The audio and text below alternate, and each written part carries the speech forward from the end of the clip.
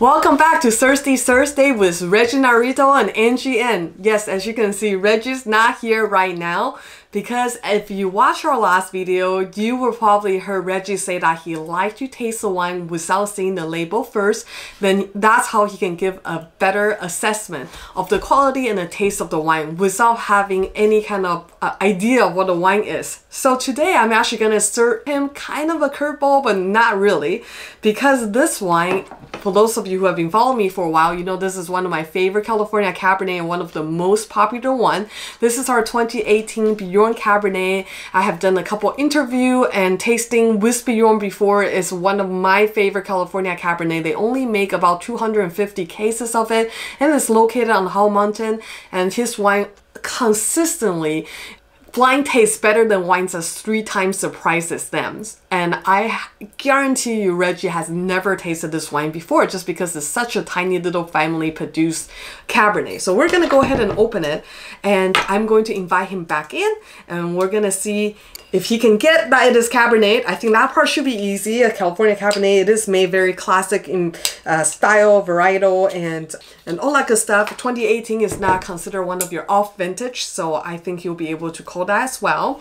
But I just am curious to see his opinion on the quality and the taste of the wine, and see if he agree with the many many of my clients who have had tasted this wine and loved it before. All right, so what I'm going to do is we're gonna pour him a nice healthy blind taste and myself as well. So he hasn't seen the bottle. What I'm gonna do is I'm gonna cork it and I'm going to hide it back in a wine box. We have a wine box that's completely not related so I can reveal it to him later. So this is nice and corked. I'm hiding it in here and I'm actually gonna put it underneath the table so he doesn't see it. All right. Okay. I think we're good. We're gonna get Reggie in now. Hey Reggie, come on in. All right, as you requested, you say you like to enjoy wine without knowing the label and the price, so it is com completely blind and fair. So let's give it a go. Mm. Um, the wine's unfiltered um, because I see some separation between the edge and it looks granular. So I'm going to tilt this over towards me. I'm going to get, and it's it's a fairly thick-skinned grape variety. I know that maybe it's not a single grape variety. Maybe it might be a blend of one primary grape and then small uh, smaller amounts of some other one. But it looks like to be a, a deep ruby, almost to medium purple in the middle. So it's got some uh, some color in there. But then on the edge, I get a little bit of variation in color. So it's not as much as that burgundy that we had earlier, but I do get a little bit of separation there.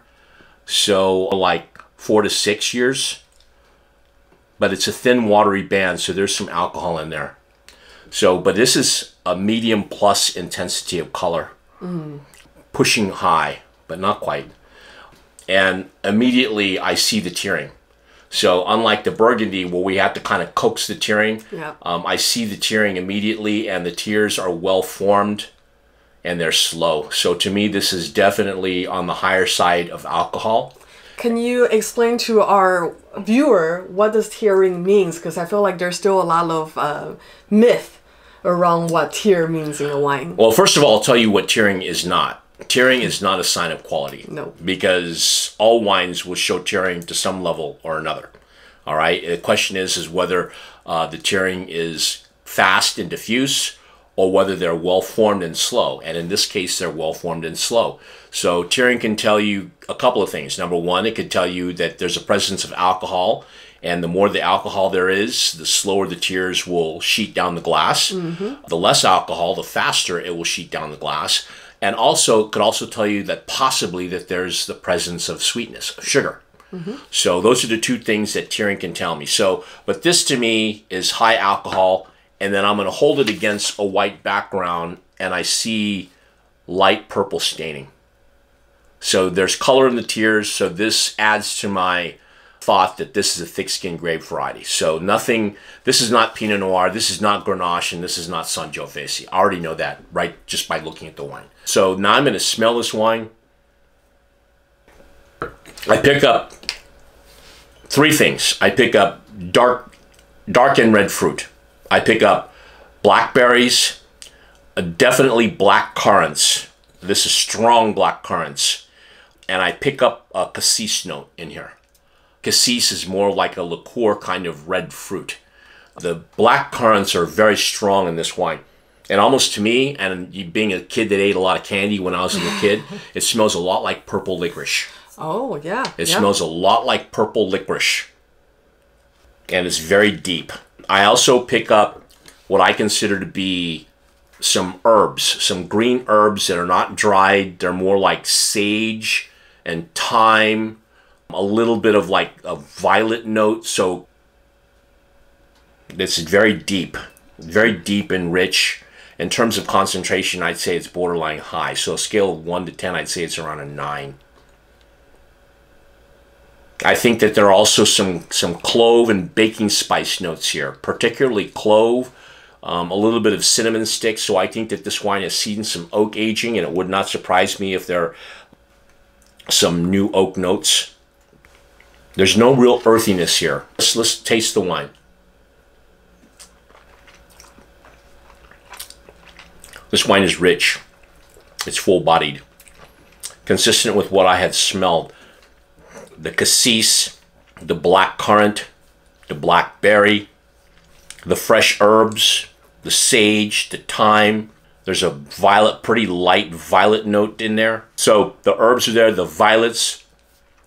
The oak is not as prevalent to me on the palate as it was on the nose. Got it. Nice. So I do not pick up as much of that. So maybe I'm going to back up, back off a little bit of my claims on the oak. So maybe not 40%, maybe 30, 25% new, but it- that clove, that baking spice, cardamom still comes in with this this wine. I'm curious to know what kind of oak they're using and what toast level because it, it to me it might be a higher toast level, but maybe not as high because that clove only comes over to me when there's a higher toast level. But I don't really get a lot of that toast component either. Going over the structure component, the wine is, is bone dry. nice. This wine does not come across like a cherry lifesaver, which some Cabernet or some producers of Zinfandel or Syrah might do. I don't get that. Mm. The acidity is medium high it's actually kind of surprising once you swallow the wine because right after that the acidity comes through and it keeps it very fresh on its feet. The I can try this again on the alcohol. It's coming right about here. So to me this could be around 14% alcohol. Maybe even a little bit higher. But 14% alcohol. So this mean this confirms what I saw Yes. on the uh, tearing there, of where I said it had color in the tears and also was slow, meaning higher levels of alcohol. 14% to me is right on the threshold between medium plus and high. By the way, I want to pause there. What Reggie was doing to kind of feel the alcohol in, in, in, in the wine is he swallows a little bit and he feels how far it burns down his throat. So most of us hopefully have the experience of being 21 at some point and taking a shot of a hard liquor, tequila or vodka or whatever have you. If you remember that, once you take a shot of something that's 40%, it will burn all the way down to your stomach. But when you're just drinking like a Mike's Hard Lemonade or something that's really light, a White Claw nowadays, Mike's Hard Lemonade, I'm showing my age. Okay, White Claw nowadays, that's 5% alcohol. It, it barely touches the bottom of your throat. So that's kind of hit our, a lot of our um, tasters gauge on how high alcohol is, is to see how far it burns down your throat. And so, you know, alcohol drives body, which is what I've always been taught. This is a full bodied wine, it has a full flavored finish. If I were to describe this wine, I would say it's a full bodied red wine that exhibits red and dark fruit, um, has some wonderful fresh herb and clove notes of oak with a really long finish. I think that this is a really nice wine. Okay, but we need you to tell us what you think it is. Year, vintage, region, varietal, and all that good stuff. I'm thinking that it's a Cabernet based blend from somewhere. It's not going to be Australia. It could be in California somewhere. Uh, because of the higher acid, I, I'm going to say that this is um, primarily Cab, Nice. um, because Cab tends to have higher acid than some of the other Bordelais grape varieties. I would say that this particular vintage, this particular wine, because it has higher level of acid, would be Napa Valley, but closer to Carneros. Um, so you could say on the other side, maybe Soda Springs. You should, could say maybe Yountville, somewhere around there, um, but not quite going up towards Oakville or um, some of those other ones. So Soda Springs is kind of like around where the Stag's Leap District is. Um, and again, you know, that's um, it extends pretty far down, and then Yountville, of course, one full step away from Carneros. Right. So that would be my guess. Cab based blend from one of the cooler areas in Napa, um, high quality. Vintage? I think it's got uh, 2016. 2016. Oh, price point. How about, I mean, I know that's not usually a thing, but where would you think this falls, the price point? Um, I think that this is very consistent with what I see right now for Napa Valley bottlings of what I see out in retail go anywhere from like $50, 50 to 75 $80 a bottle. So I think anything in that price point would be what I would consider because the wine has oak, the wine has quality of fruit. awesome. Are you ready to see what it is? Sure. I had it hiding under the table. One second. Ooh. All right. There it is. Have you ever had this wine before? Oh, So he's it's a mountain wine. It is a mountain wine, which actually also apply, correct? Like uh, when you're Cooler. cooler region, like I didn't more- consider the. You know what? That, that's. I didn't talk about the tannin in this wine, because the tannin actually comes through with the acidity pretty good. right, So I I I mean I would consider the tannin to be medium full. right, which is kind of You know what this kind of reminds me of? This kind of reminds me of Randy Dunn stuff. Oh, nice. Okay. Because if anybody's had Randy Dunn's Howell Mountain wines, Yeah. this doesn't have the concentration of Randy Dunn's wines, but this has the what I consider to be the the tannic structure and the acidity of Howell Mountain. That's awesome. Yes. And it So- is 14.6% alcohol. Apparently. So half a percent higher than I thought it was, which is pretty pretty and right it's on. within two two years of the vintage. Yes, um, the similar style vintage, right? Because I remember Yeah. 16, 18 similar. That's the whole idea. Seven, 17 is a little different.